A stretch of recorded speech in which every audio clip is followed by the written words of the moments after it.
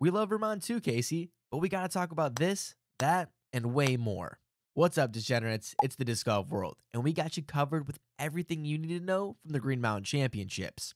I'm Jefferson, and alongside me, as always, the one with all the holes in his game, Swiss Cheese. Quick shout out to everyone supporting on the Patreon and our members. We're solely funded by the fans, so literally without you guys, we wouldn't be able to bring you our coverage. So if you want to see your name, check out the link in the description. GMC happens to be one of the most liked tournaments among pros, and from the property, it makes sense. Two beautiful courses that have been around for years, testing players' abilities to hit gaps and lines rather than to throw the extended distances for no reason besides trying to add some sort of challenge. It's kind of like using a salsa top as a mini. No real reason but for the attention. We heard talk from professionals about how aspects of disc golf is being forgotten, and these courses bring it back out. Evan Scott allegedly made a comment about finally being able to shape shots instead of basically throwing out his arm. My only issue with the courses, and it might be a nitpick, but hey, I'm the guy who won, so might as well take advantage. I never like when spectators have to cross a fairway in order to get places. What other professional sport do you actively go through the playing area while the event's going on? It creates moments when fans accidentally walk in the way of pros. And sure, we can call the wambulance as some like to say, but when you're playing for the last chance to get into the Tour Championship, I would like as little distraction as possible. I overheard an interesting conversation as I watched this exact thing go down. Well, one of many. A player said as he waited on the tee pad, let's let them cross so they're out of mind, which was responded with, that's already impossible. So can we stop designing spectator walkways in the middle of fairways? And if you have no other choice, I think it would be appropriate to have a trusted volunteer man that station. I know it's possible because I remember the Music City Open. Unfortunately, that's the only instance I can remember at the top of my head. However, the list is long of tournaments that use courses that still grant access to the public during the event, or at least they did a shitty job enforcing the rules. The other problem that needs to be fixed soon is DGN and the streaming issues. Although I wasn't watching the live stream, it's hard to ignore the comments that flood every social media that disc golfers are on. We talked about weird optics, but what about when fans don't even have the ability to watch the product? The push can't be for everyone to use this app when week after week it's filled with complaints. At this point, it's set up to look bad. As you can tell, the comments are not going easy. Not sure if there is a solution moving forward, but hopefully there could be something done as there's too many people threatening to pull their subscriptions, and from everything else we've seen in the disc golf industry this year, not sure how much of a hit can be taken. Brodie's back. Well, not for the tournament, but on X. After his account was hacked, he would have to take a brief hiatus from the app. Didn't take him long before he was back at it discussing his favorite topic when replying to this post from Zach Melton, which talks about Gannon's insane 16 under round 2. Currently, the rating sits at 1096, just below that elusive 1100 Melton believes it deserves. Ezra Aderhold then jumps into the conversation to bring up the point that there weren't enough lower rated players to balance out the scores in order for the rating to have the boost. That's, of course, when Brodie chimed in.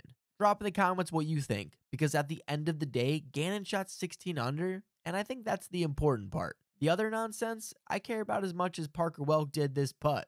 Sorry, man, but you did tell me to put it in the video.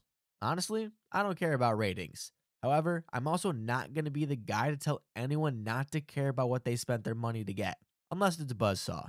No one needs three. Speaking of useless things, let's talk playoffs. Just kidding.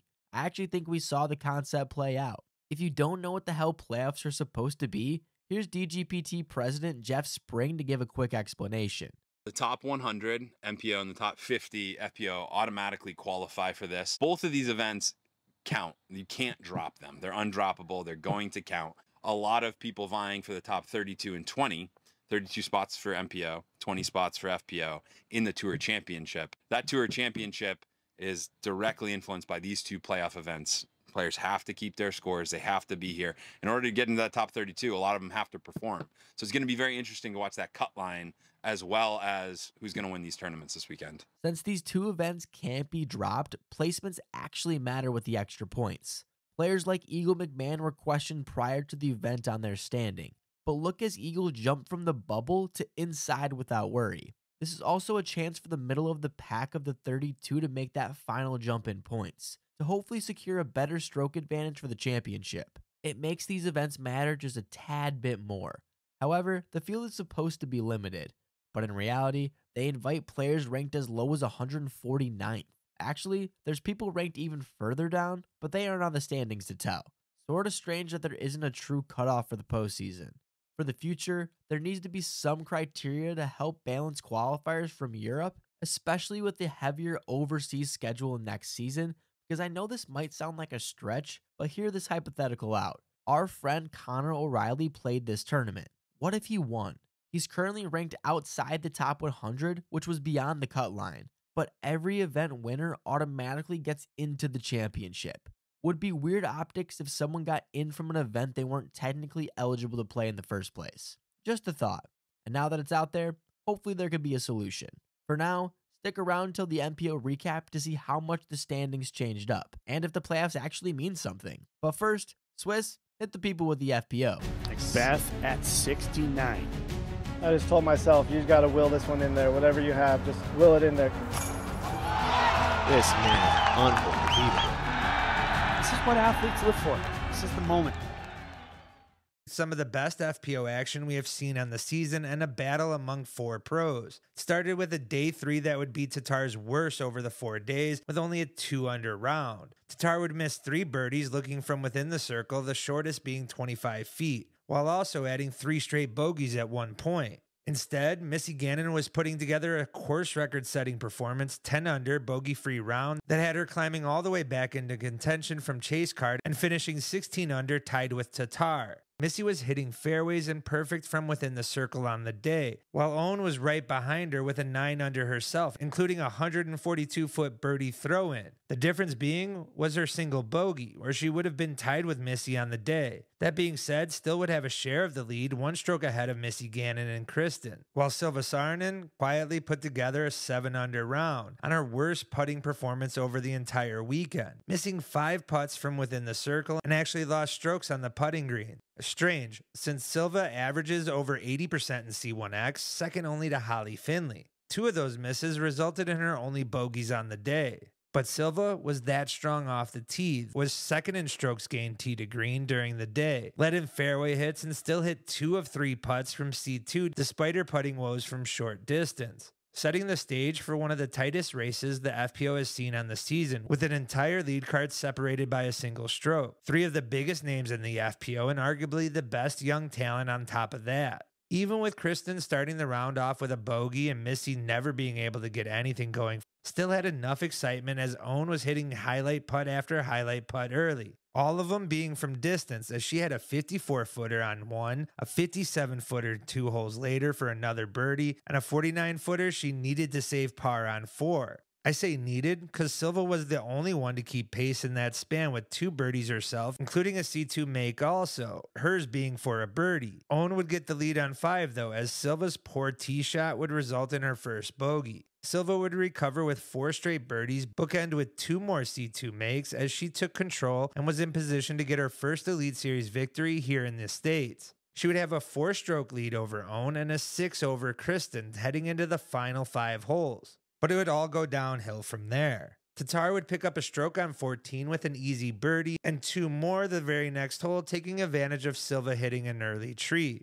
Silva, with now only a two stroke lead, would have another errant tee shot off the fairway on her very next drive, but recovered with a great out and an even better approach for a par look save, with no apparent damage as Tattar was looking at par also. Silva would end up missing that 15 foot par save, resulting in a bogey and her lead down to a single stroke. Some would consider that a choke job, but let's be honest, Silva Silva's only beaten Tattar one time in her career, making that putt that much more pressure packed for anyone, including one of the best young putters in the sport who is yet to win outside of Europe. After that, the two would go par par on the next hole, setting the stage for a battle that would come down to Fox Run's iconic hole 18. Kristin, in classic fashion, hits the center of the fairway in near perfect position. Silva responds with yet another poor tee shot, this one finishing OB, ultimately resulting in a now playoff back on 18 where Silva just aired. In the playoff, both would be clean off the tee this time and each placing their approaches near circle's edge, both needing to hit the putt for a chance at victory. Silva was the furthest out and first to act. Despite most rooting for Tattar, fans were willing Silva's putt in as they didn't want the action to stop. However, her putt not only lipped out, but also caught edge and rolled OB,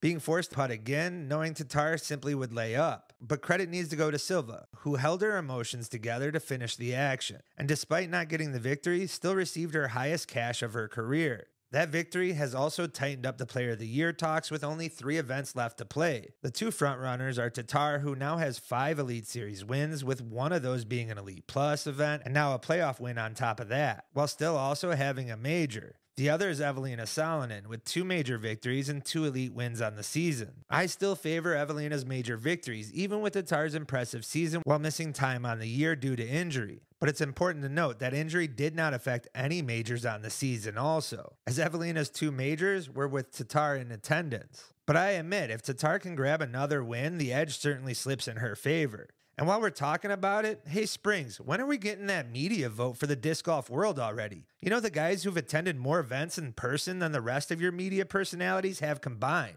Over on the MPO side, Gannon Buhr decided he didn't want anyone else to win this tournament. After his 16 under on day two, it would be insane to think anyone else is going to take this away from the flat bill enthusiast. By the final day, he extended his lead bigger than this Gavin Babcock sandwich. The only person who made it interesting was Ricky Wysocki, and he went into the round down by seven strokes. This would be Gannon's seventh victory of the season, and instead of receiving praise from the community, I saw nothing but negativity. I was still in middle school when McBeth was in his true dominance era, so I don't remember the public perception then. But did he get this much hate from when he walked over the field? Because all I hear looking back is how incredible it was. Now, Gannon's doing similar numbers, not even to the full extent, and all I see is how bad for the sport he is. And not just for the Lego building antics. I even heard that statement from professionals, which feels so strange to me. How can you not like the kid because he's too good? If you can't handle the self abuse or overanalyzing, just give him some time. It's not like there's a book on how to handle being the greatest in your field as a teenager. We had the chance to ask Gannon how he felt about the hate he constantly gets, and this is how he responded.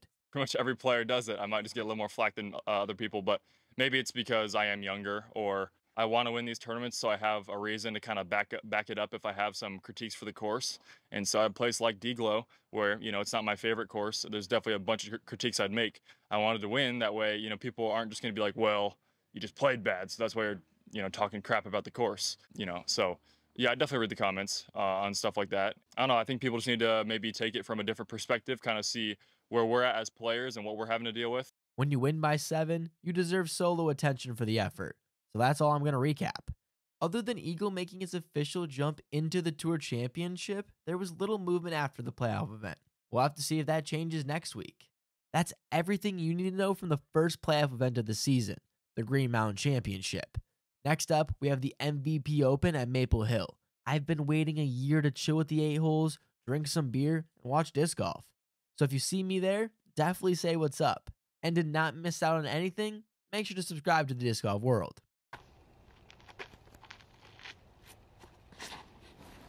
Yep, that's perfect. What a shot. Yeah. Thank you.